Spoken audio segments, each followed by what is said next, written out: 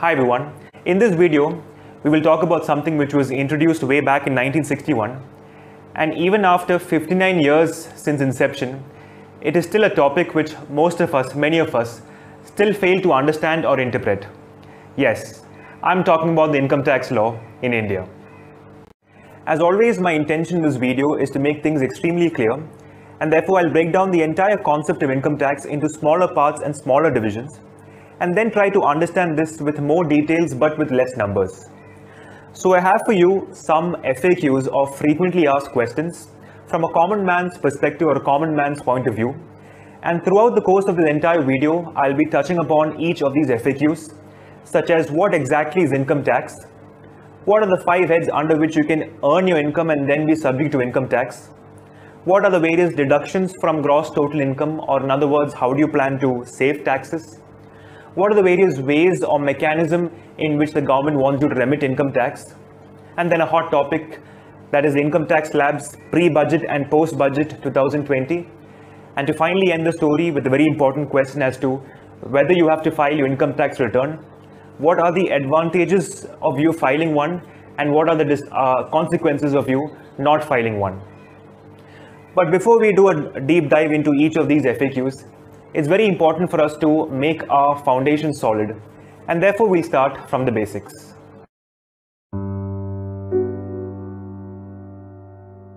No doubt it's a well-known fact that the biggest source of revenue for the government is through taxes. In today's world, there's a tax on everything that you do, be it the salary income that you get, the food that you have at restaurants, the movies that you watch on Netflix, the toll that you pay through FASTag, and why not, even on the packet of biscuits that you've just bought from the nearby store. So there's always some sort of tax embedded into the final price of goods and services. And therefore you, pay, you end up paying different types of taxes in different forms. Now taxes in India can be broadly classified into two, direct tax and indirect tax. Direct tax is a tax that you pay on the income that you earn in a particular financial year. Here you do not pass on the burden to any other person, because you are paying taxes to the government from your own hands. Indirect tax, on the other hand, is a tax that is embedded into the final price of goods and services that you purchase or buy from the supplier. So the price that you pay for the goods and services already includes a tax component which the supplier collects and then he pays to the government. So in this, the government is indirectly collecting tax from your hands. So income tax, which is the focal point of a discussion, is classified under the category of direct tax because it is basically a tax that you pay on the income that you earn in a particular year from different sources. And to understand the sources, we will now move on to the different heads of income under which you can show the income that you've earned and then be subject to income tax.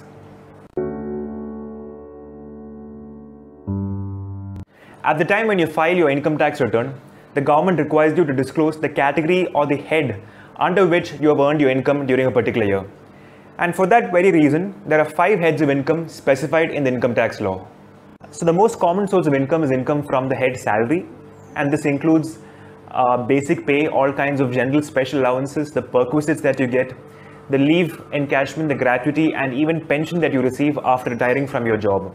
So all this is kind of clubbed into one category and the net salary is shown under this head. Income from profession or business. Well, you must be doing a business in your personal capacity or in capacity with your family, friends and peers. And the net income that you get from your business or profession is shown under this head. Mind you, it is the net income and not the total sales or the gross sales from your business and profession which is to be shown here. Coming to income from house property. Well, some of us may have two house properties. One, of course, in which we permanently reside, and the other one we would have let out to some party. The income that we receive from the let out house property in the form of rent is again subject to income tax and needs to be disclosed under the head income from house property. But what about the sale of capital asset? Be it land, building, a second-hand car, jewelry in terms of gold? Well, the income from the sale of these capital assets needs to be disclosed under the head income from capital gains. Mind you again, it is not the selling price of these capital assets sold, but it is the profit, selling price minus cost price, the profit that needs to be showed under this head income from capital gains. And then you have the fifth source of income, which is called income from other sources or the miscellaneous category. So this includes those incomes which could not be categorized into the other four heads which will come into income from other sources. Here you have income in the form of interest from the FD that you opened with the bank, in terms of dividend income that you receive from the shares that you invested in a particular company, or it could be in terms of the returns that you get from investments made in mutual funds or any other lucrative investments. The main reason why you have five different heads of income in your income tax return is because under each such head you have specific computations and specific deductions. For example, in the case of your salary income, you have a standard deduction of 50,000 applicable from financial year 1920 onwards. In the case of income from house property, you again have a standard deduction of 30%. As you can see in this graph, on the left side, I have shown all the heads of income. Now, some of us, in fact, most of us will have income from multiple sources. So you need to club all these incomes and then show it as your gross total income. And then you can take the benefit to something known as deductions from gross total income to arrive at the net total income on which income tax is chargeable.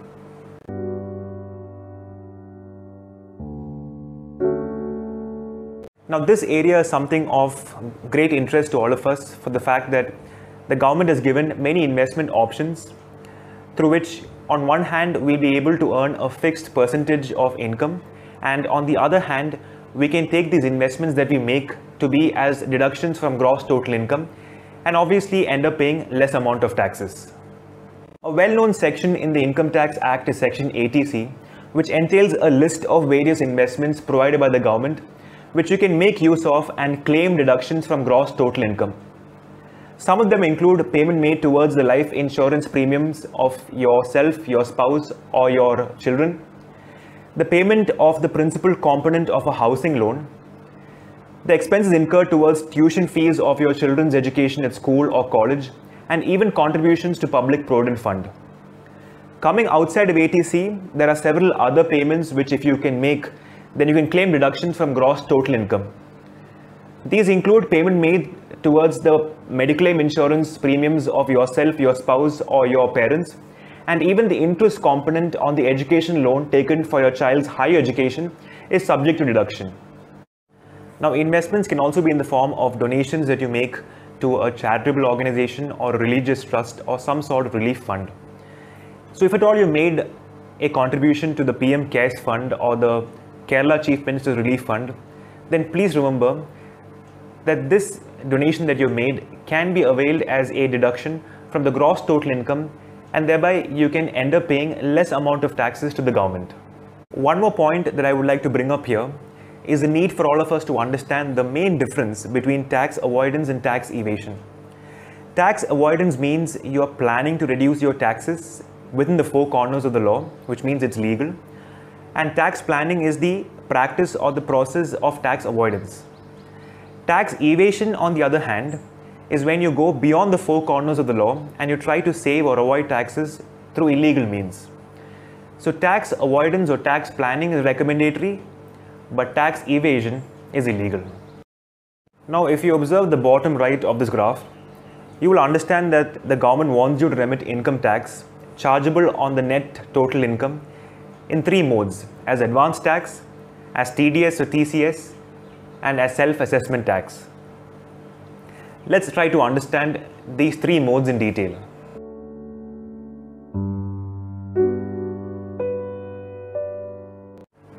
First, let's start with the concept of TDS or tax deducted at source. Now, TDS is that portion of income tax that you have to pay to the government on all payments made for services.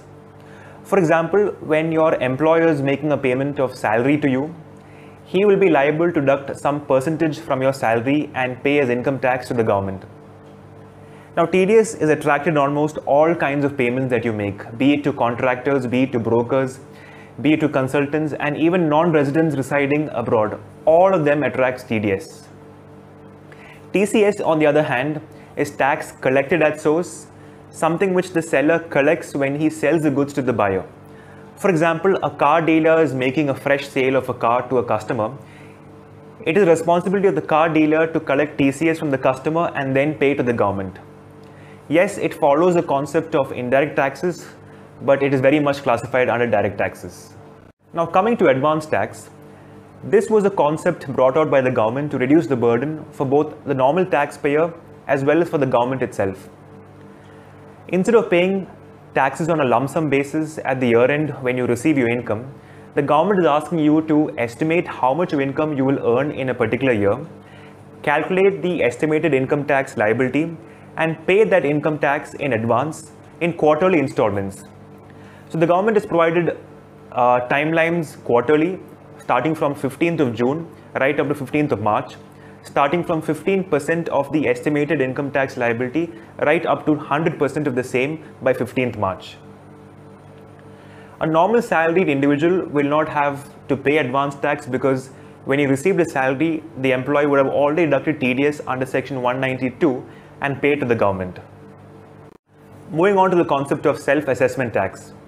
Now sometimes what happens is your estimation of total income may not be correct and you may end up receiving more income than what you estimated which in that case your uh, total tax liability will of course be higher and you will have to pay something called a self-assessment tax even if you have paid advance tax and TDS. Well, an important point to note here is the fact that self-assessment tax needs to be paid before you file your return of income.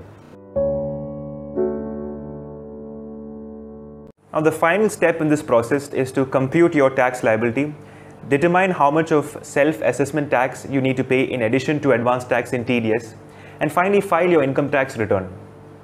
To understand the existing income tax slabs prescribed by the government, let's take the help of an example. Imagine you're doing pretty good in life. Sitting at the tender age of 55, you're already earning 40 lakhs per annum. Your income tax that you have to pay to the government looks something like this up to the first 2 lakh 50,000 you, you do not have to pay any sort of tax which means that 2 lakh 50,000 is the basic exemption limit.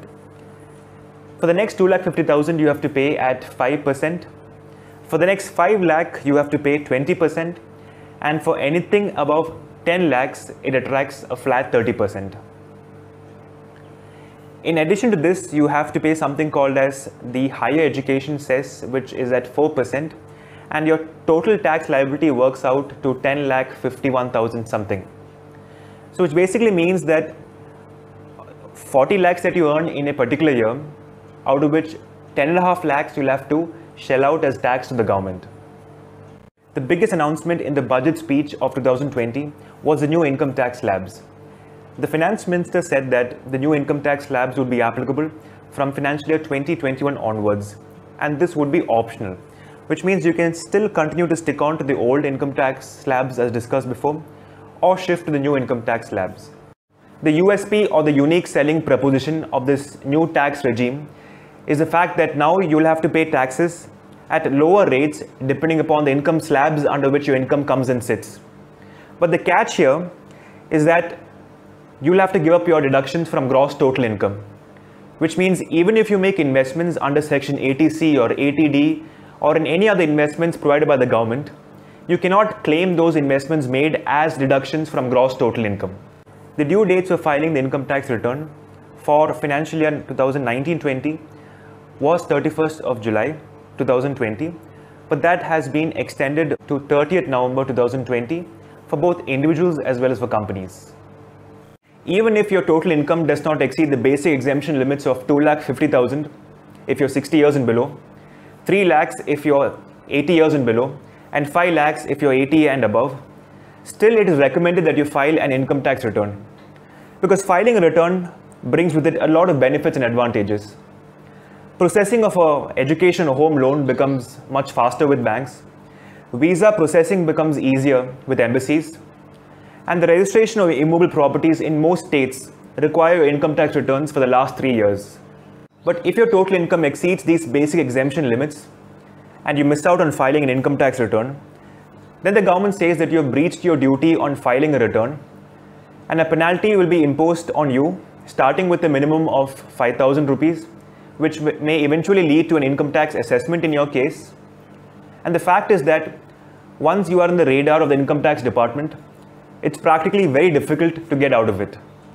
Well, I hope I was able to make things clear and interesting through this video. If you like the video, please do show your support to us by hitting that like button. If you want to become a member of this channel and receive notifications by way of videos on income tax or any other topics, please do subscribe to the channel so that you receive videos on a weekly basis. And once you subscribe, you have this little bell icon on the side which you can tap for notifications to receive faster. I've also given a link to the previous video on the petrol diesel hike. If you're interested in knowing more about it, please uh, click on the link. I would love suggestions coming in for the video by way of comments. And I've also given my email ID below in case you want to get back to me for doubts on the topics discussed in this video. So I'll see you guys in the next video. Till then, it's a thank you from my side. Stay safe and have a great day.